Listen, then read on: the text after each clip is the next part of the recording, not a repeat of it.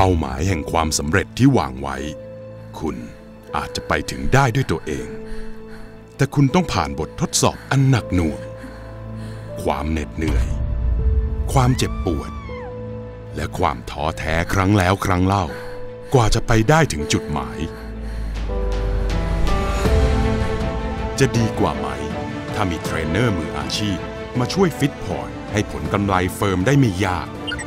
มาฟิตความพร้อมเรื่องการลงทุนกับเรา เทรนเนอร์ความฟิต train ชีวิตการลงทุน พบกับ 12 กูรูจากบล็อกและเพจชื่อดัง ที่จะมาแชร์ประสบการณ์ และทัศนคติในการลงทุน สร้างแรงบันดาลใจให้กับคุณ Better Trade 2016 Investment Fit You 29 ตุลาคมนี้ ณ ห้องแกรนด์ฮอลล์ไบเทคบางนา สอบถามข้อมูลเพิ่มเติม www.efinancethai.com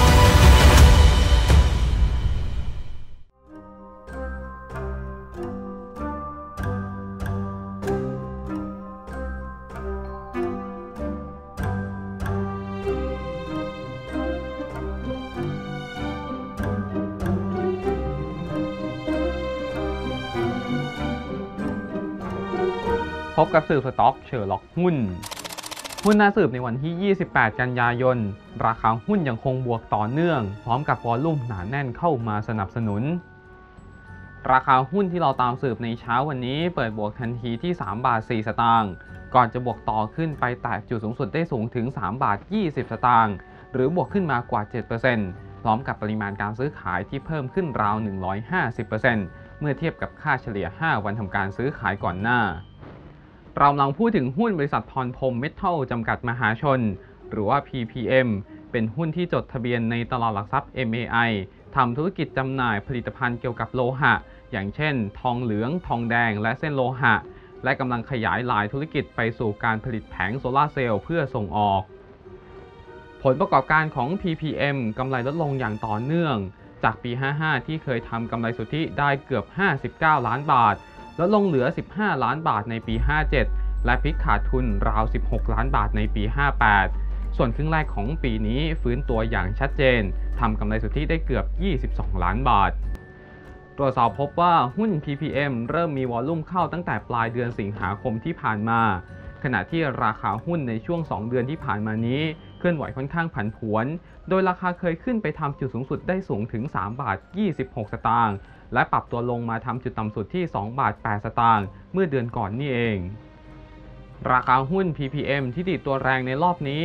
มาจากประเด็นบวกทั้งงบในปีนี้จะเทินอลาวอย่างแน่นอน และล่าสุดได้ขายหุ้นบริษัทย่อย Solar PPM ที่เป็นตัวแทนจำหน่ายแผงโซล่าให้กับ HQ Trading จากฮ่องกงเพื่อร่วมธุรกิจตั้งโรงงานประกอบแผงโซล่าเพื่อส่งออก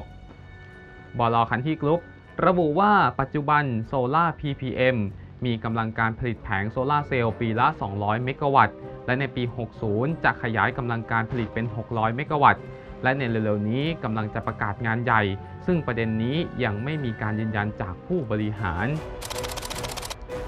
แต่ยังมีประเด็นที่น่าสงสัยก็คือ ก่อนหน้านี้ PPM แจ้งมติบอร์ดยกเลิกการลงทุนในธุรกิจพลังงานแสงอาทิตย์ โดยให้เหตุผลว่าสภาพแวดล้อมทางธุรกิจเปลี่ยนแปลงไปอย่างรวดเร็ว แต่ทำไมยังคงลุกธุรกิจขายแผงโซลา่า ราคาหุ้น PPM บนกระดานในปัจจุบัน ซื้อขายกันบนค่า PE สูงเกือบ 100 เท่า ทั้งทั้งที่หุ้นในกลุ่มอุตสาหกรรมเดียวกัน ซื้อขายกันด้วย PE เฉลี่ยเพียงแค่ 26 เท่าเท่านั้น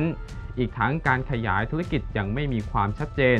ดังนั้นการเก็งกำไรจึงเต็มไปด้วยความเสี่ยง ส่วนสัญญาณเทคนิคเมื่อสืบจากนักวิเคราะห์บล็อก CIMB ประเทศไทยธีรศักดิ์ธนวรากุล แม้ว่าโครงสร้างหลักทางเทคนิคจะเป็นขาขึ้น แต่อัพไซด์เริ่มจำกัดมากแล้ว โดยมีแนวต้านหลักอยู่ที่ 3 บาท 20 ถึง 3 บาท 30 สตางค์สำหรับคนที่มีหุ้นควรขายทำกำไรเมื่อราคาขึ้นมาทดสอบแนวต้านดังกล่าว ส่วนคนที่ไม่มีหุ้น หากจะเก็งกำไรควรรอซื้อเมื่อราคาย่อตัวลงไปที่แนวรับ 2 บาท 80 โดยมีจุดขายตัดขาดทุนที่ 2 บาท 70 สตางค์